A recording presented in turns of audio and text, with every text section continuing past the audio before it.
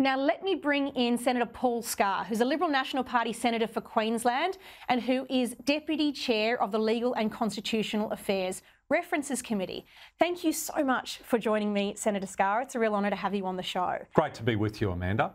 Tell me, is the factual basis upon which Attorney General Dreyfus says we hmm. need to have this reform of the AAT solid? Is it really there? Absolutely not. As, as you've said in your introduction, the objective evidence actually disproves what Dreyfus is claiming. So, from my perspective, one of the best indications of whether or not the AAT is doing its job is whether or not courts are overturning decisions of the AAT.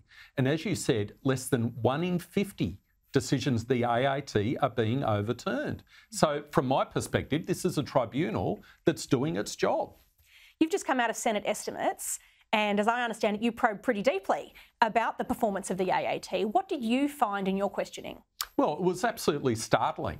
So I actually went to the AAT annual report, which has the objective evidence with respect to the performance of the AAT, and the minister's at the table, and I'm saying to the minister, well, less than one in 50 decisions of the AAT are overturned. There's a very large satisfaction rate with the performance of the AAT, mm. and that's both from parties who are appearing in the AAT and their legal representatives. So I asked the minister at the table, what evidence is the Attorney General acting upon with his decision to overturn, to undertake this huge so-called reform process? what did he say? And, and the minister at the table says, well, the Attorney General gets around the community, he talks to people in the community. Wouldn't we expect, if there's one minister in a, in a government that we would expect to act on objective evidence, surely it's the Attorney General, but we're seeing the contrary here.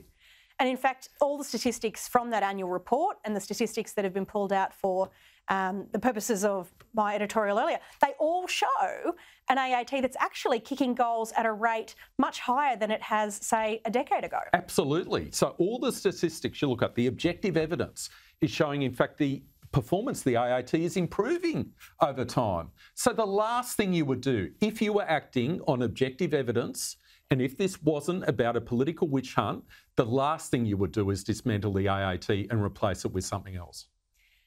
That's really interesting to observe, isn't it? How many parallels do you see with Labor's past efforts to shut down and reconstitute bodies to give them greater scope and opportunity to control the personnel and form of government departments so that they can control our institutions. Well, as, as you said in your editorial, they're just rolling out the same model. So if you don't like the people who are on the on the tribunal, disregard their performance, which is excellent, and just set up another tribunal, another organisation. So they're applying exactly the same model they've applied in the past. There's an interesting um, sort of self reinforcing risk in this too.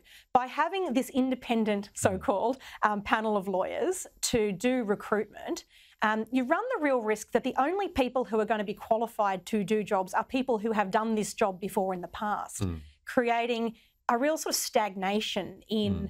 the, the personnel that come mm. into the organisation. Mm. Mm. A stagnant bureaucracy can mm. start to have problems of its own. Um, what ways or what mechanisms can be put in place in reform to make sure that there is that freshness and there isn't um, you know, a, an entrenched bureaucracy yeah. running counter or interference yeah. to government.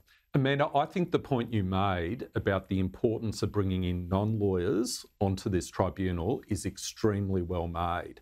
A lot of the decisions which are being made, and you've given the examples in terms of disability services, social security decisions, migration decisions, what we want on this tribunal are people with real world experience. Mm. And the cases that I see in my office of, of people coming uh, to my office who've gone through the process, it is so important you've got people who can draw out the evidence, draw out those stories, and make decisions on the facts because this is merits review, as you said. Mm. It's not a legal decision per se, it's merits review. So you've got to get people's stories and understand the context.